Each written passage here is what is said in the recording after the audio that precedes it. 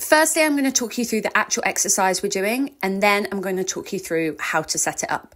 So, the concentric hang is literally holding the top position of your chin up. That is it. So we hold that top position for as long as we can, or however many seconds I've programmed, then we relax off. So we don't want to waste much energy pulling ourselves up. We want to waste or use as little energy as possible to lift ourselves up. So notice how I just hop up to the bar and hold myself. Now, if you find that your legs swing quite a lot, go back a little bit in the video. You'll see I cross my legs over to stop the swinging. Another way that you could set up for this exercise Previously, I used a bench. This time, I'm using a barbell. So, can you see how I've set up the barbell there? So, I literally just need to be on my tiptoes.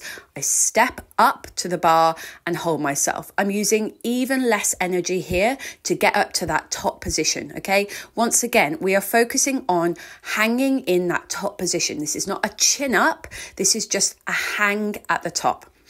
If you do not have access to a supine grip, so hands facing each other, you can do a reverse grip like I'm doing here. So my now my palms are facing one another.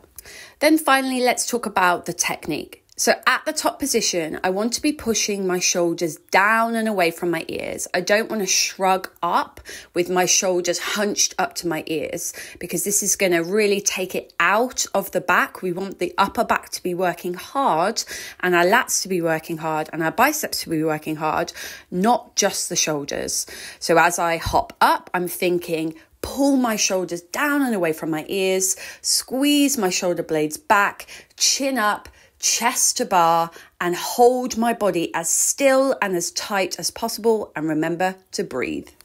And I know some of you like my longer description, so I just want to talk about why we're doing this exercise. So, for a lot of people, they find the top position in a chin up or a pull up, like get, getting their chin and chest above the bar, the hardest position to get to. So, this is essentially strengthening that portion of the chin up or the pull up.